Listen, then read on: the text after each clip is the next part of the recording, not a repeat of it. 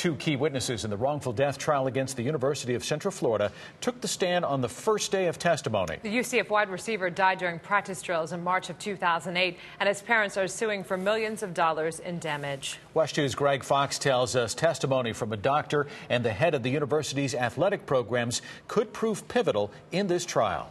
UCF's athletic director testified that student safety is the top priority, but he also said that if school procedures were not followed in relation to Ereck Plancher, that would not be acceptable. Keith Tribble is head of UCF sports, including football, and was in charge when Enock and Giselle Plancher's son Ereck died in 2008. He's also head football coach George O'Leary's boss. O'Leary has previously admitted he knew Plancher tested positive for sickle cell trait, which the medical examiner says caused Plancher's death, a condition triggered by practice drills the day he died.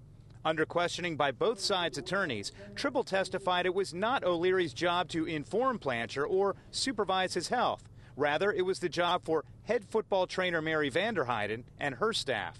That would be not acceptable. She did not inform me. I think what's important to me is that that medical procedure with our doctors, with our trainers, or anyone involved in that, they inform the student athlete. Tribble also said it would be unacceptable if trainers present during practice and games did not have knowledge of players with sickle cell trait and how to treat it. The only trainer present when Plancher died has already testified he had no knowledge of the condition.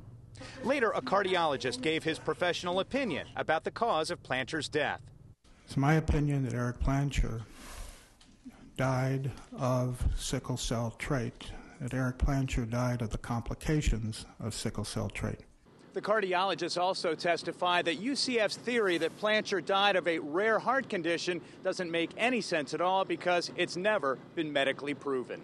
In Orange County, Greg Fox, 2 News.